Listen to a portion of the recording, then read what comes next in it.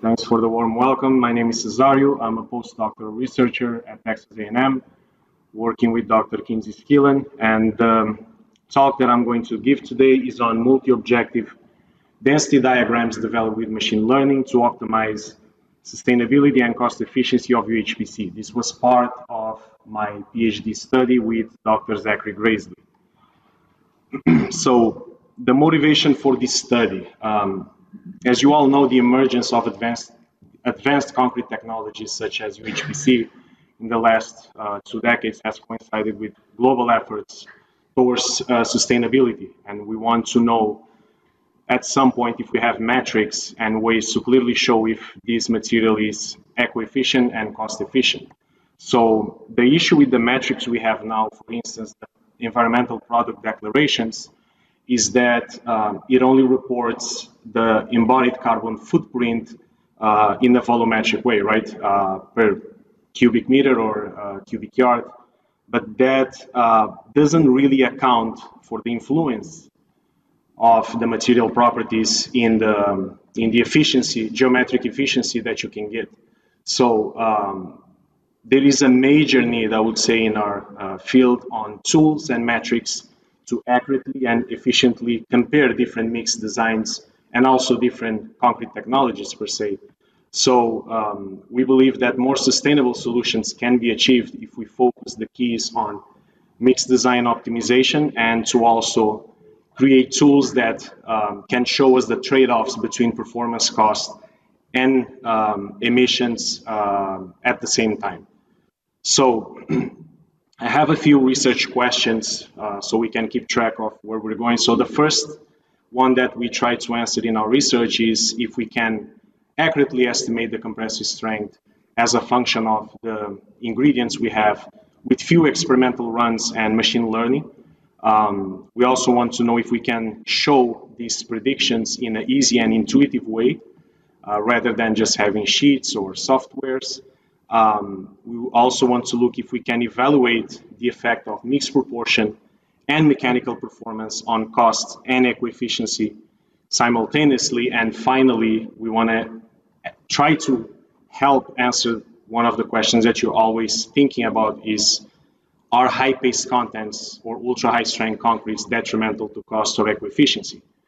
So um, I will not go into too much detail on the model by itself because this was part of a previous presentation, but just to give you some context, um, the method that we did to optimize the um, UHPC mix during my dissertation was to design, use a design of experiments focused on orthogonal arrays to reduce the experimental runs uh, model it with some machine learning models, um, and I'll talk a little bit more about them later. Use comparison indices and metrics that account for um, embodied CO2 and uh, compressive strength for this um, example. And finally, use these predictions uh, and these indices to create these multi-objective density diagrams. And there you have an example of an orthogonal array that we used. Um, it's basically used to collect strategic points in our domain um, um, so we can model uh, the behavior of the material inside that domain of mixed proportions.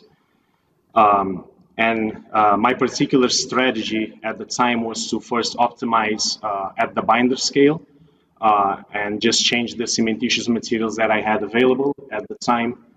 And at the second phase, optimize my uh, aggregate uh, um, and my UHPC as a whole, while I still used um, information on the water cement ratio and the superplasticizer for my machine learning modeling. Um, just to give you an insight of the models, we used KNN and random forest. KNN stands for K nearest neighbors, if you're not familiar. And we compared the prediction uh, to just linear regression. And if you take a look at the two bottom models, that's the ones we end up using for the diagrams. Um, both in the training and testing sets, we were able to um, estimate the behavior or, or, the trends, let's say, in that domain uh, with a pretty balanced residual mean square error. Um, this model is not perfect, but you'll be surprised that we built this with basically um, 75 data points. Um, experimental units at, at max. So, um, and you can see that it's very different from the polynomial model at the top, where there's no real correlation between prediction and, um, and the actual outcome. So these answers our first question, and uh, if you want to look a little bit into, uh, I'll show you the, the QR code for the paper. Um, we can estimate, and again, it's not predict to the one megapascal, but we can accurately estimate the compressive strength behavior for the domain of mixed designs if we can use um, uh, proper factorial design uh, strategies and machine learning. Um, now, performance density diagrams. It's going to help us look into our models in an easy and intuitive way. Um, these diagrams basically resemble a matrix of contour plots, okay, where our main variables are in the x and y direction um, axis, and the other variables are um, basically organized by, uh, by the uh, boxes. And your outcome is the density of the diagram. So this will help you basically take a look inside at your prediction model and, um, and see if the trends of your model make sense or not. So this is basically going to be almost like a, uh, a portrait of your material. So just to give you an example how this looks, um, when I was optimizing the binder um, phase, you have microsilica at the x-axis, slag in the y-axis, fly ash um, faceted by, by blocks, and if you want to pick a mix with 130 megapascals, um, you can simply um, use this combination of material, but as you can see, there's multiple combinations you could use here and account for the materials that you have in your region to um, um, achieve this given mechanical performance. Uh, you can also use it to track your flow. This is something we're doing in a, in a new study uh, now that uh, we fix the, the proportions of our cementitious and then we're just changing the replacement level, the water cement ratio and the superplasticizer and we're trying to make sure that all the mixes we look at are within the range that we typically use for UHPC, which is 20 to 25 centimeters um, of flow, self-consolidating flow. And we can also um, combine these predictions for different objectives, not just compressive strength. You can have flow, you can have uh, tensile strength, you can have different uh, shrinkage, and then you filter out all the mixes that do not meet a certain design criteria and now you can look at all the other alternatives you have to uh, design your material. You can use these diagrams for categorical predictions if you want to see what type of fracture type you can have, or you can use it as a probability uh, of one of the failure types happening. So again, I'll refer you to this paper to see more details on the models themselves. Um, during my PhD, this is what I used to create um, uh, 155 megapascal uh, UHPC with more uh, sand than cementitious and with a OPC content uh, of 725 kilograms per cubic meter. And from what I searched in the literature at that time, it was under what's typically uh, shown. So uh, now, focusing on the cost and environmental impact metrics. Um, these efforts were started by Dr. Sabbie Miller, um, and in that work um, by uh, and, and, and, Miller, they came up with a few uh, comparison indices that account for the volumetric environmental impact, but also a given mechanical performance indicator. And we extended that work. We made a modification on one of the indexes to account for the different um, modulus of rupture that we can get with, um, uh, with UHPC and high performance concrete as well. So uh, just to give you an idea, the X column is an index for short columns or any, let's say, element that's dominated by compression, where the effects of buckling are negligible. So you have volumetric environmental impact in the numerator and compressive strength in the denominator. And the X cracking is the environmental um, eco-efficiency index for um, first cracking. So basically, this is something you would use in an overlay uh, case if you have a simply, if you model your uh, slab as a simply supported beam. So just, um, this is in a very uh, initial uh, phase. uh, but um, we're also creating these uh, indexes in terms of cost, and uh, the only thing that changes here is the unit cost at the top. And before I go to the next slide, I want to tell that the goal of these indexes is to minimize them. So, for instance, if you want the most cost-efficient mix, in this case, you want one with the least uh, volumetric um, unit cost and the highest compressive strength, just to give you an idea. So the, the lower the indices, the better the, the, the mix is for that particular solution. And again, we can use these diagrams and filter out mixes that don't meet a certain strength. So now if you're looking at the X column index and you're trying to optimize for compressive strength, you can pick any of these mixes and you know that the compressive strength is already above uh, what you have decided as your uh, as imposed by design. Okay. Now, just to give you an idea of some numbers, if you look at these two mixes, you can see that the mix with the lowest embodied CO2, um, it's actually not the mix with the lowest X column index. What does this mean? This means that um, with the first mix, you can reduce the cross section of the column uh, at a certain level that the total carbon footprint of that column would be less than uh, the second mix, even though the, uh, you have more embodied CO2 in that mix. So this is how we would be comparing apples to apples in this case. Um, we also um, combine these indexes to look at um, um, cost and environmental impact at the same time. And we also uh, extended these indices for multi-members. So for an application where you're using one type of concrete for different members, you want to also optimize everything, not optimize just a column and just a beam, because typically, you know, we use one, one concrete for all the elements. So these answers are third question. So the, the last one, are high paste contents and ultra high strength concrete detrimental to eco-efficiency? And what I did is I picked a few mixes that I got from that optimization study and some other UHPC mixes from uh, the literature. Uh, I did use some of your mixes here. You'll be happy with the results. um, and compared to different concretes in, um, in general. So if you look at these indexes, uh, I would say the red, uh, the red points are normal strength concrete. Yellow is self-consolidating concrete. Green is high performance, high strength concrete, and blue is UHPC. And if we're trying to minimize these indexes, the, the two graphs on the top are um, eco-efficiency for column and for, for scracking, and the bottom is cost efficiency.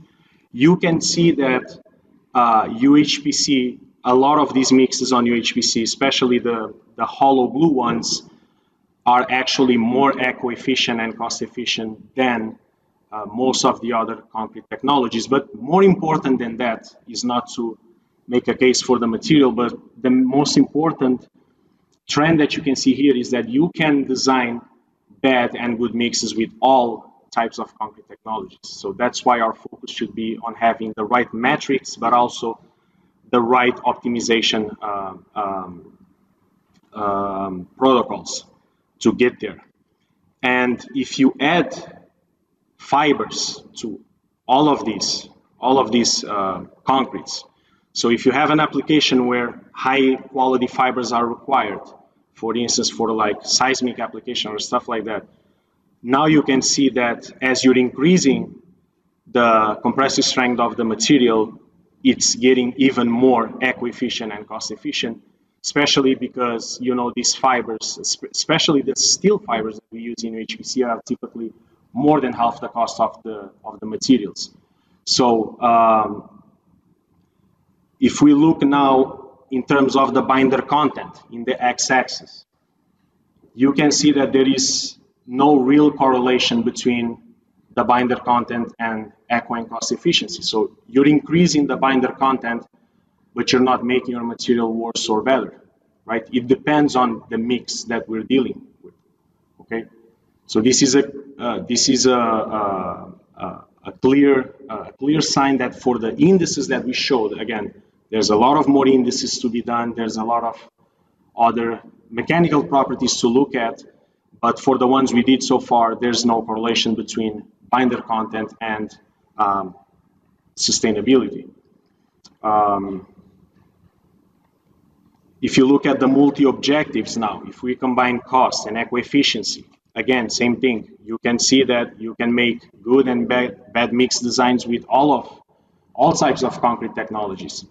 And if you're adding fibers, you're most likely get uh, the best use if if you're using UHPC or high high strength concretes if the design is properly made. So um, I hope this answered at least um, the question of if if it's for sure high binder contents or ultra high strength concretes bad for sustainability or cost, and you can see with numbers that they are not. Okay, they are not, and we should um, have the right metrics to compare them. Um, so, what's the implications? I think that this type of diagrams could be used. Um, this study would give you some guidance on how to develop these.